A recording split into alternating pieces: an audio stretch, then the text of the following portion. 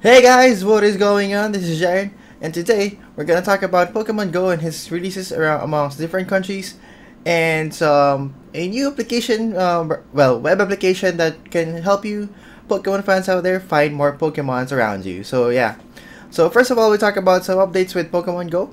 Pokemon Go has been releasing its content uh, throughout the world uh, slowly, like country by country.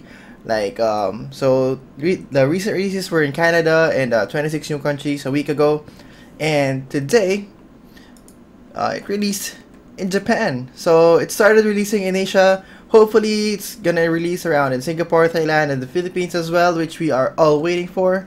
So um, as you can see here in the Pokemon Go's, uh, you know, uh, Pokemon Go's tweet, it says that trainers in Japan, thank you for being patient. Pokemon Go is now available to download in Japan. So, Japan is probably, I think, the first country in Asia that they released it. Uh, I'm not surprised about that since Nintendo is actually from Japan, I think.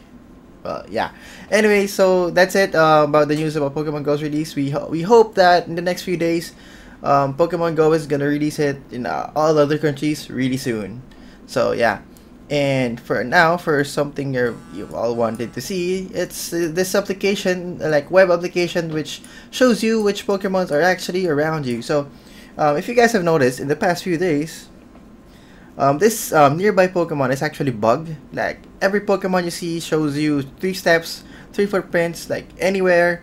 Um, so no matter however you walk, no matter how far you go, no matter where you, what direction you go into, there are always three steps you have no idea if you're near them or you're going far or you're like you're like guessing where they are. So yeah, this application um, it's Pokevision.com. Um, it uses Niantic's uh, uh, API to you know track out track the Pokemons that are around you or around the globe. So right right now it shows me around uh, these Pokemons that are in uh, New York. It's around Center Park, so they are there. There are like tons of Pokemons. There's a Fearow out there. There are Meowths. There's Zubats, of course Zubats. There's a Gold Golbat, there's a Haunter right there.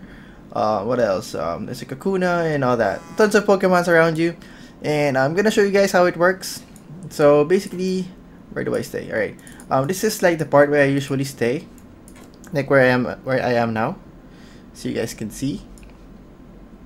Alright, so it says it's telling me that the that a a uh, Magikarp is beside me. It's like uh, it should be right around over here probably. I hope so.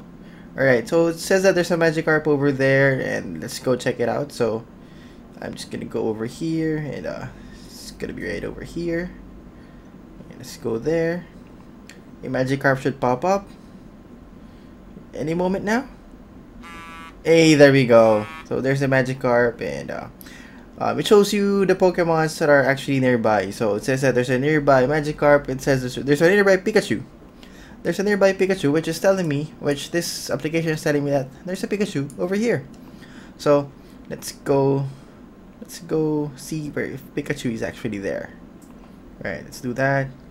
And then there's Pikachu. And there's Pikachu right there. Alright, so it would actually work. So yeah, what, what it does show you are the Pokemons that are nearby. Uh, instead of showing you all the Pokemons that are lured by incense or lure modules because it doesn't show you that.